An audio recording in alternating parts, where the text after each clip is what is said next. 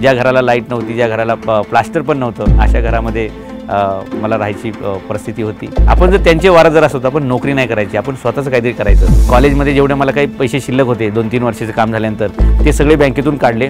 पहिली पुस्तकं छापली तीन हजार पुस्तकं. कसलाही अनुभव वगैरे काही नसताना तर मी एकदम शिपायासारखं पण काम केलं की आपली पुस्तकं त्यांच्या काउंटरवर ठेवणे आपणच डिस्प्लेला लावणे. लहानपणी ज्या जेवढ्या साईजच्या घरात आम्ही राहिलो तेवढ्या साईजचं माझं आता किचन आहे. आणि असे जवळपास तीन फ्लॅट माझ्याकडे आहेत. आणि हे गरिबीचं जिनं आपल्याला आयुष्यभर जगायचं नाही आणि हा ध्यास घेतला आणि एक झंझावाती प्रवास मी सुरू केला. हा प्रवास कसा होता? हा आज मी तुमच्याशी शेअर करणार आहे. जिओ स्टॉकच्या माध्यमातून पहिल्यांदाच.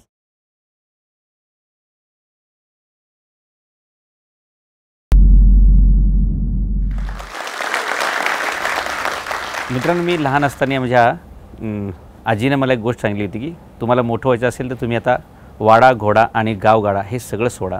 आणि त्यानुसार माझ्या आईनं ते मनावर ग्रामीण भागातून डायरेक्ट मुंबईला गेलो. आणि मुंबईला गेल्यानंतर आम्ही अशा घरात राहिलो की ज्याला प्लास्टर नव्हतं, लाईट नव्हती. आणि अशा शाळेमध्ये ॲडमिशन जिथे दरवाज़ा उघडल्यानंतरच फक्त हवा येऊ शकते, बाकीची हवा वगैरे असं काही येणार नाही. अशा एकदम छोट्याशा गरीब शाळेमध्ये माझं शिक्षण लहानपणी आम्ही जी गरिबी भोगली, ती गरिबी प्रचंड अशी बघितली पण या गरिबीवरती मात करण्याचा माझा निर्णय होता. आणि मी तशा प्रकारचे प्रयत्न करत गेलो. नियती मला मार्ग दाखवत गेली. आणि ती म्हण होती की चणे खाऊ लोखंडाचे जिनं जीव गरिबीचे. पण हे चणे फक्त पण लहानपणी खायचे आहेत नंतर मोठेपणी खायचे नाहीत. आणि हे गरिबीचं जिनं आपल्याला आयुष्यभर जगायचं नाही. हा ध्यास घेतला. एक झंझावाती प्रवास मी सुरू केला. हा प्रवास कसा होता? हा आज मी तुमच्याशी शेअर करणार आहे. जिओ स्टॉकच्या माध्यमातून पहिल्यांदाच. नमस्कार. माझं नाव नामदेवराव जाधव. तर मित्रांनो, मी ग्रामीण भागामध्ये पुरंदर किल्ल्याच्या पायथ्याला आमचा जन्म झाला होता आमच्या व आजोबांनी ज़मीन विकत घेऊन तिथं वाडा बांधला होता. परंतु आमच्या आजीच्या असं लक्षात की भविष्य हे ग्रामीण भागामध्ये नसणार, शिक्षण हा तिसरा डोळा असणार आहे आणि आपल्या मुलांनी, नातवंडांनी शिकलं पाहिजे आणि म्हणून तिनं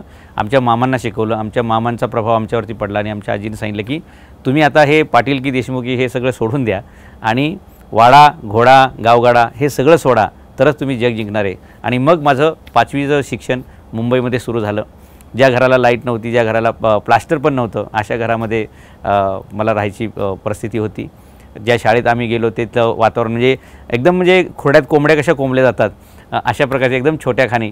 आणि अनएडेड शाळेमध्ये जिथे शिक्षकांनाच पगार आठशे होता, तर डेफिनेटली शाळेची अवस्था तुम्ही समजू शकता. पण ते शिक्षक तळमळीनं शिकवायचे, त्यांचीसुद्धा गरिबीवर मात करायची इच्छा होती. आणि असं करत मग तिथून माझं दहावीचं शिक्षण पूर्ण झालं. मी अकरावीला मी एका कॉलेजला गेलो, पण ते चालायला खूपच लांब पडायचं चार किलोमीटर. मग याच्यावर मात करण्यासाठी मी दहावीची अकरावीची परीक्षा आल्यानंतर सुट्टीमध्ये काम आणि त्या काम करून मी त्यावेळी एक पिक्चर चालू होता, जो जिता वही सिकंदर. आणि त्याच्यामध्ये ती रेसची एक सायकल दाखवली जायची. आणि मला असं वाटायचं की आपण कॉलेजला गेलो, तर अशा प्रकारची सायकल आपल्याकडे असावी. पण एवढी महागडी सायकल घेता येत नाही. आणि मग आमच्या विभागामध्ये एक पोराकडे तशी सायकल होती आणि त्याला ती नंतर विकायची होती. मी ॲडव्हान्समध्ये कस्टमर कसा त- तयार करायचा हे सगळं शिकलो. तर त्या त्याच्या सायकलवर माझा होता आणि त्याला ती विकायची होती हे मला ॲडव्हान्समध्ये कळलं होतं. मी परीक्षा झाल्याबरोबर कामाला गेलो. दोन महिने काम केलं आणि सहाशे रुपयाला ती रेसची सायकल विकत घेतली. आणि एक सिकंदरासारखा मी बारावीला कॉलेजमध्ये स्वतःची कमाईची सायकल घेऊन अ, त्या कॉलेजमध्ये गेलो. आणि कष्टाची मेहनतीचं काय आनंद असतो तो त्यावेळी मी तो घेतला. आणि त्याच्यानंतर ब बारावीला मला परत फ़र्स्ट क्लास मिळाला. मी नेहमी संधीच्या शोधामध्ये असणारा माणूस असायचो. आणि मला एक कॉलेज सापडलं की ज्यांची पहिल्या, पहिली बॅच सुरू होत होती. आणि विद्याविहारला सोमया कॉलेजची एक नवीन शाखा सुरू झाली एस के सोमया. आणि मी नेहमी फिरत, फिरता असायचो, लोकांमध्ये फिरायचो. काय संधी कुठे आहेत, अडचणी सगळं बघायचो. मला नेमकी ती खबर लागली मी डायरेक्ट माझ्या जुन्या कॉलेजमधून तेरावीचं एल सी बाहेर काढलं. आणि चौदावीला मी ॲडमिशनसाठी तिथे गेलो. पण ॲडमिशन मिळेल की नाही याच्या बाबतीत माझ्या मनामध्ये धाकधूक होती. कारण तेरावीचे जे सात विषय होते चार विषयात मला पस्तीस मार्क होते. दोन विषयामध्ये मला अडतीस चाळीस मार्क होते आणि एकाच विषयामध्ये मला पंचेचाळीस मार्क होते.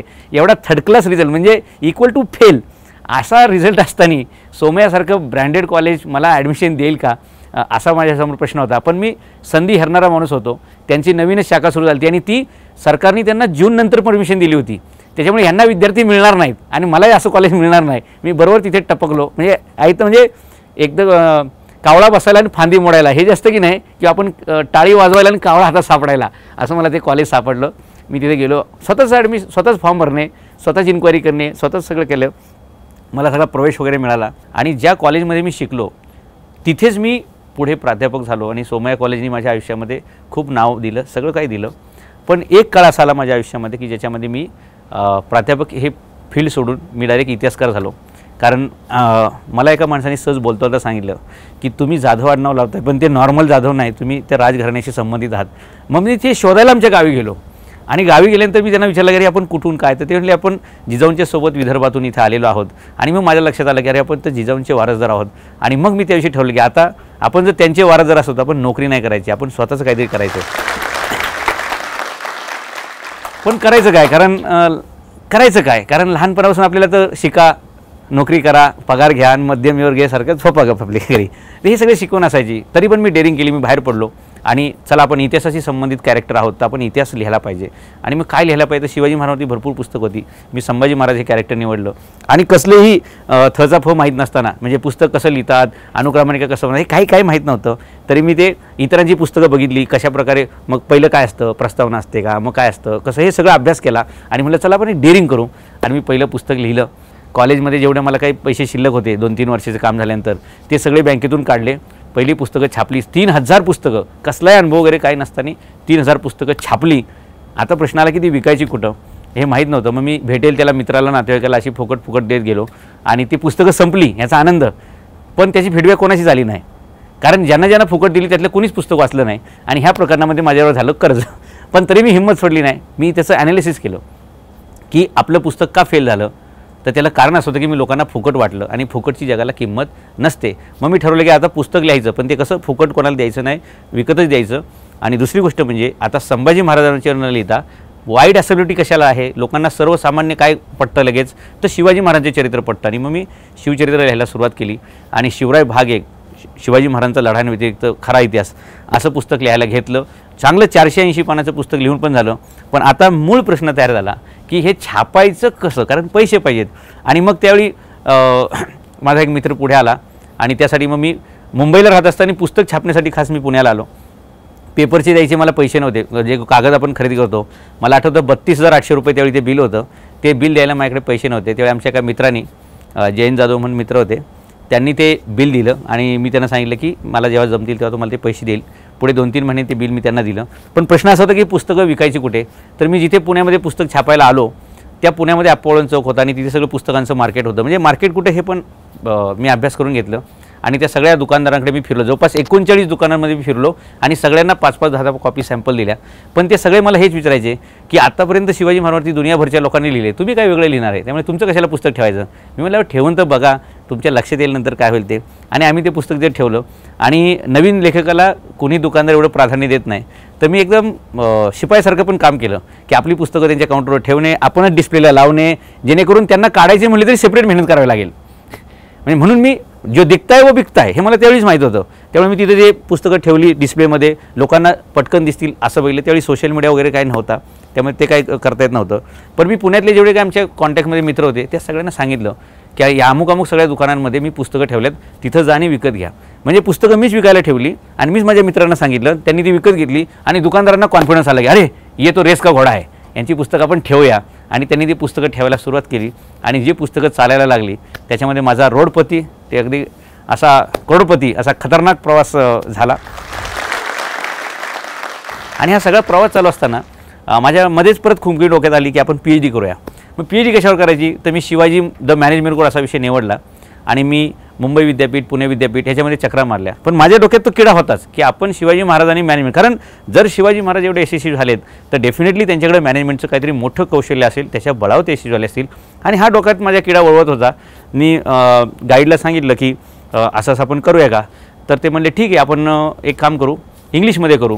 मी सहा महिने अगदी गदा मजदुरी केली, जे जशी करायला लागते पी डी सिनॉप्सिस वगैरे बनवलं. त्याच्यानंतर परत भेटलो, ते सहा महिने म्हटले, नाही नाही, ते आपण मराठीत करू. मग मला राग आला आणि सर, तुम्ही गाईड नाही, तुम्हीच मिस गाईड आहात, त्यामुळे मला काही ती पी एच डी वगैरे करायचं नाही. मी पी एच डी ड्रॉप केली.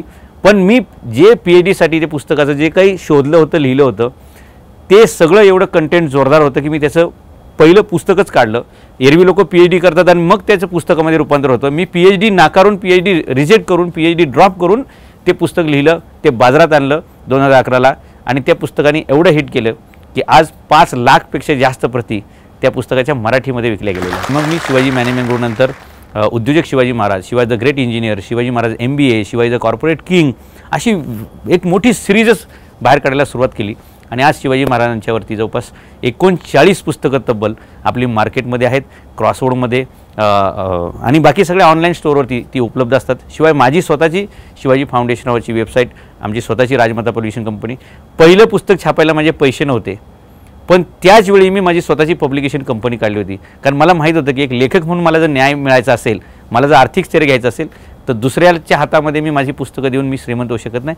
म्हणून मी पहिल्याच पुस्तकाच्या दिवशी माझी स्वतःची सुद्धा पब्लिकेशन कंपनी काढली. वाचकांनी खूप चांगला रिस्पॉन्स दिला हा सगळा प्रवास असा पुढे पुढे चालत गेला. माझं हे शिवाजी महाराज लिहिण्याचं सगळं काम चालू होतं. त्या दरम्यानमध्ये एक कोट्याधीश्वर नावाचं पुस्तक माझ्या वाचनामध्ये आलं. आणि कुतोलापटी श्रीमंत व्हायचं कारण मी गरिबी बघितली होती. मलासुद्धा स्वप्न होतं की आपण श्रीमंत व्हायला पाहिजे. तर मी त्या म्हणजे ते पुस्तक विकत घेतलं, ते आणि मला ते कळतच नव्हतं काय ते डोक्यावरूनच चाललं कारण त्याच्यामध्ये ते सायन्स हे ते एन एल पी मेंदूमध्ये हे रसायन, ते रसायन, असं सगळं दुनियाभरचं जुगाड होतं. मला पुस्तक म्हणजे एक दोन पानं वाचल्याच कंटाळा आला. पण माझ्या निर्णय असा होता की या लेखाला आपण भेटायचं. ज्यांनी कोट्याधीश पुस्तक लिहिले तो कोट्याधीश असला पाहिजे. म्हणून मी त्या फ़ोन केला. त्याला मी भेटायला गेलो. तर माझ्या डोक्यात असं स्वप्न होतं की अरे कोट्याधीश हा पुस्तक लिहिणार माणूस तर मर्चिडीज ऑडीमध्ये यायला पाहिजे. तर त्या माणसाने मला हॉटेलमध्ये वगैरे भेटायला बोलवता एका मठाच्या प्रांगणामध्ये बोलवलं आणि त्या वडाच्या झाडाखाली मी त्याची वाट बघतोय की बाबा, आत्ता मोठ्या साहेबांची गाडी येईल आणि ते आपल्याला भेटतील. तर बघितलं तर सी डी हंड्रेड नावाची जी टू व्हीलर असते, त्या, त्या- गाडीवरती तो कोट्याधीश हा पुस्तकाचा लेखक आला आणि त्यांनी उभ्या उभ्याच माझी चर्चा केली. चहा पण विचारलं नाही, काय नाही. कारण तो किती कोट्याधीश होता हे मला तर इंटरव्ह्यूनच कळलं. जो दिखता है वही फायनल हो जाता है आणि मला कळलं की अरे, कोट्याधीश हो, हा पुस्तक लिहून सुद्धा लोक गरीब राहतात. आणि मी घरी आलो, मी विचार केला गांभीर्याने, की अरे, नुसतं असं पुस्तकाला टायटल देऊन उपयोग नाही. तर माणसाने प्रत्यक्षात कोट्याधीश व्हायला पाहिजे. मी घरी आलो. गरीब गरीब का राहतात? श्रीमंत श्रीमंत का होतात? आणि गरिबीतून लोक श्रीमंत का होतात? याचं सगळं सांगोपांग विचार करायला सुरुवात केली. आणि मी करोडपती, तुम्हाला श्रीमंतीतून शून्याकडे नेणारा राजमार्ग असं पुस्तक लिहिलं. पण सहा महिने मी ते पब्लिश केलं नाही. कारण जर मी करोडपती टायटल लावतो आहे तर माझ्याकडे सुद्धा किमान एक कोटीची संपत्ती असली पाहिजे. आणि म्हणून मी सहा महिने ते पुस्तक पब्लिश केलं नाही. आणि ज्या दिवशी ती वर्थ माहिती इथपर्यंत गेली तेव्हा मी ते पुस्तक बाजारामध्ये आणलं. कारण मी थेअरीला महत्त्व न देता प्रॅक्टिकलला महत्त्व देणार आहे. कारण मी गरिबी बघितली होती आणि प्रॅक्टिकली मला श्रीमंत पण व्हायचं होतं. आणि म्हणून मी शिवाजी महाराजांच्या सोबत सोबत बाकीची मोटिवेशनल पुस्तकं पण लिहायला सुरुवात केली. त्यातलं हे पुस्तक करोडपती, ज्याची प्रेरणा ते दुसरा लेखक होता, ज्यांनी कोट्याधीश लिहिलं पुस्तक, पण तो स्वतः गरीब होता. माझा हा सगळा जो एक लेखक म्हणून प्रवास आहे, म्हणजे एक फेल झालेला ऑथर ते सक्सेसफुल लेखक, हा सगळा जो प्रवास आहे याच्यातून मला तरुणांना हे सांगायचं आहे की तुम्हाला काय आवडतं हे जगात अजिबात काही किमतीचं नाही आहे लोकांना काय आवडतं हे सगळं महत्त्वाचं जी गोष्ट लोकांचे प्रश्न सोडवू शकतं जी गोष्ट लोकांचा दृष्टिकोन बदलू शकतं, जी गोष्ट लोकांना आयुष्यामध्ये समाधान देऊ शकतं, जी गोष्ट लोकांना आयुष्यात दिशा देऊ शकतं, अशा गोष्टी जगात चालतात. हे माझ्या लक्षात आल्यामुळे मी तसेच पुस्तक लिहायला गेलो आणि तरुणांनीसुद्धा म्हणून यशस्वी व्हायचे त्यांनीसुद्धा म्हणजे तुम्ही लोकांच्या आयुष्यात काय बदल करू शकता, अशी जर गोष्ट तुम्ही बनवू शकला, असा विचार देऊ शकला, अशी दिशा देऊ शकला, तर तुम्ही करोडपती व्हायचं स्वप्न बघायची गरज नाही. लोक तुम्हाला एवढं श्रीमंत करतील की तुमच्या श्रीमंतीवर लोकांचा विश्वास बसणं शक्य होणार नाही. म्हणून जगाला काय पाहिजे? याचा विचार करून हे करायला पाहिजे. आणि म्हणून मी पुस्तकं लिहिली. पुस्तकावर पुस्तकातून मला व्याख्याने मिळायला व्याख्यानाच्या ठिकाणी पण स्टॉल लावायला लागलो. आणि हा इन्कम मल्टिपल मल्टिपल होत गेला. आणि मला असं वाटलं नव्हतं फोर व्हीलर गाडी असेल किंवा अ, लहानपणी ज्या जेवढ्या साईजच्या घरात आम्ही राहिलो तेवढ्या माझं आता किचन आहे. आणि असे जवळपास तीन फ्लॅट माझ्याकडे आहेत. तीन फोर व्हीलर गाड्या आहेत. चार माणसं माझ्याकडे काम करतात.